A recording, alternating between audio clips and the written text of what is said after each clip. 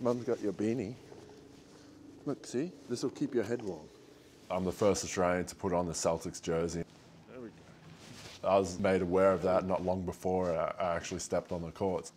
Boston is such a great city. As soon as we came here, we fell in love with it.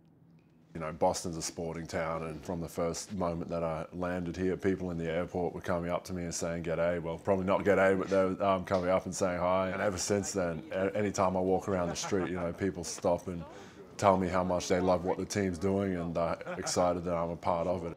Aron Baynes debuted in the NBA with the San Antonio Spurs, where he played three seasons, winning a title in 2014. From there, he moved to the Pistons under coach Stan Van Gundy for another two years. In July of 2017, he signed as a free agent with the Boston Celtics.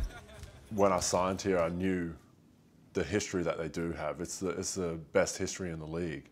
And you want to come in and contribute to try and take them back to that same level.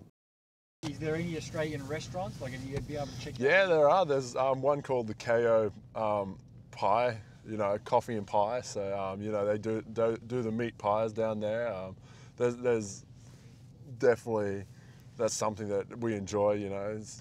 what, what Aussie doesn't like a meat pie now and then. Is that one thing you miss about Australian cuisine, meat pies? I wouldn't say I wouldn't say you exactly miss it. I mean, you, you do miss a dirty meat pie here, or when you when you go out to the footy or something. But um, you know, it's it's one of those things that there's there's so many other good food items around as well that um, I, I, don't try and miss too much food. There's a lot of Australians around here I found. Um, and so it's always pretty cool, but um, beyond that, you know, there's just a lot of sports fans in Boston, which is even cooler. What's going on? What's up? Oh, give us some down. Give us some down. Oh, yeah. Hey! I'm thankful to be here in Boston. I'm thankful to come out here and see everyone so excited to learn. Yeah. That's why I have a college degree. I, I knew I wanted to get that background so that, um, you know, if, if, something doesn't work out in, the, in sport, you know, I always have a fallback plan. Aron's, you know, uh, he's personality plus. You know, wherever he goes, he puts smiles on people's faces, and he, he just jumps in like he embraces it. He you know, for, for a guy who's you know, he's six foot ten, you know, he he's so comfortable, right? He just walks in and he says he engages with every person, every kid, every teacher, uh, and you can tell he likes to do it. We're lucky he's a special guy. How tall are you? Six ten. How tall are you? I just really want to put my best foot forward and help the team in whatever way I can every time I step out with that jersey on. The balance of power in the NBA's Eastern Conference was rocked when Boston traded for Kyrie Irving to give them the star power needed to take on LeBron and the Cavs. In spite of losing Gordon Hayward to injury, the team reeled off a 16 game winning streak and, led by Brad Stevens, is positioned to go deep into the playoffs. He's got such great players around me, you know, that's first and foremost. We have such great creators offensively that if I try and set a screen and just get into good spacing, you know, they, they make things happen. You got quite a performance from Aron Baynes. Can you describe how he influenced this win? Uh, you know, understanding that Baynes is a bruiser down low, and we got to feed him the ball when he's got those duck-ins those little guards. Everyone's willing to sacrifice. It has to be five-man defense. It's not one-on-one when we're out there. We're playing. There's such great players in the league. You know, every time we play someone, there's there's a guy that could demand a double team, but you, you, really can't play like that because all five guys out there are so great. Another stop! Get another stop! Let's go! During his three seasons in San Antonio, Baynes had the opportunity to play for Gregg Popovich and learn from a coach with four NBA titles to his name. One of the biggest things from Pop, you know, less is more. It's about working extremely hard when you are working, but when you're off the court, you, you're really trying to rest and let your body recover because we play 82 games in a regular season. You know, it's a long, long grind. If you have a good routine and you're consistent with it, that's what leads to greatness. You know, I watched Tim Duncan for three years in San Antonio, and he definitely embraced that. On December 1st, the Celtics would take on one of the up and coming teams in their division, the Philadelphia 76ers, and fellow Australian Ben Simmons, who has a 6'10 point guard presents unique challenges for any defense. When he can settle in and he gets the same look every time down the floor, he, he's exce- been excelling and you can see how good he is. But um, we have the ability to make him take different looks and different defenses from different guys. What do you think of you know, how he's been performing through the first 20 odd games of the season? Oh mate, he's, he's been doing great. Um, you know, they, they put a lot on his plate, and um, he's really stepped up to it. Uh, you know, that's a credit to Brownie. Um, you know, I, I, was lucky enough to be with Brownie for a good stretch with the Australian team, and uh, I, I owe a lot to Brownie throughout my career and as to where I am now. So, um, you know, I know that he's going to do the best for Benny and put him in the right situations. And um, ben, Ben's the type of player that's going to go out there and take it. Uh, you know, he's he's definitely showing that he can do that, and he's proven that he can he can play with the best of them right now. And it's, it's going to be fun watching him um, mature and just keep getting better every time he steps out on the floor.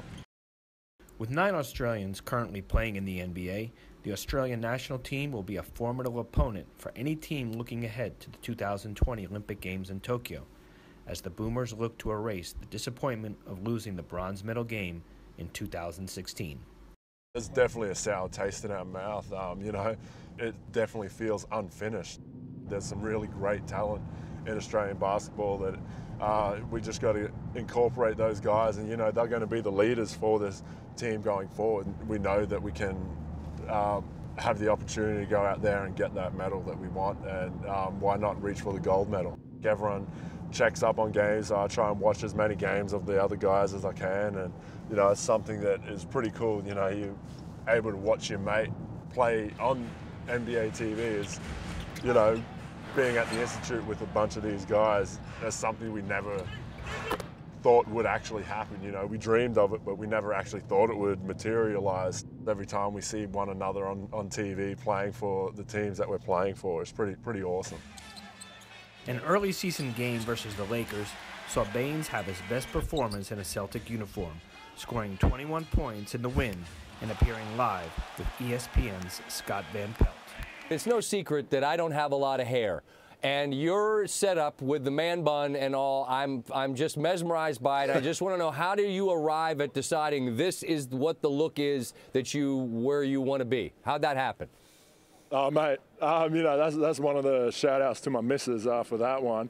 She said she wanted long hair and a beard, and, you know, I like, like the show Vikings, so I told her that's fine, but I'm going to shave the sides. So, um, uh-huh. you know, between us, we kind of came to that agreement, and uh, that's what they say about marriage. It's a whole lot of compromise. So, you know, we found one with the, the, the look that I've got going right now.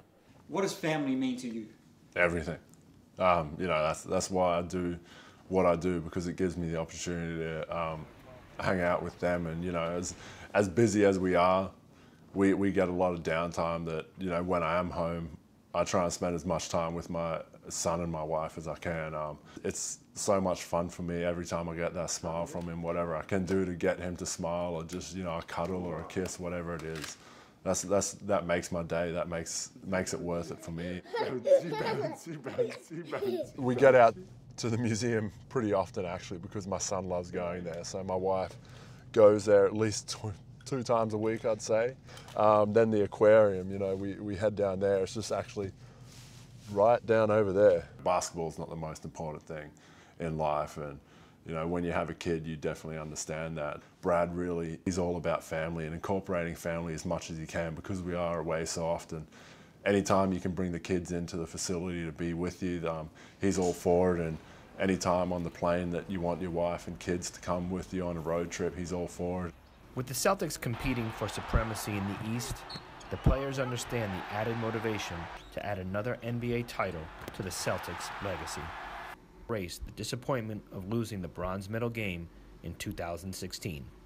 It's something that everyone here talks about in Boston. You know, everyone's talking about banner 18, and we have an empty banner at practice that hangs up there. So every time we walk into the facility, we see what has come before us and you know what is our ultimate goal, which is getting another banner up there. And so it's something that we all see every day and we all take pride in trying to get this program back to there. And we're just thankful that we're a part of such a great program. And um, we're, we're really just enjoying this ride. Anytime I step out on the court, I'm, I'm thankful to be out there and trying to get better, help the team get better, because I know it's not about playing well now, it's about getting, getting right for June, and that's when we want to still be playing.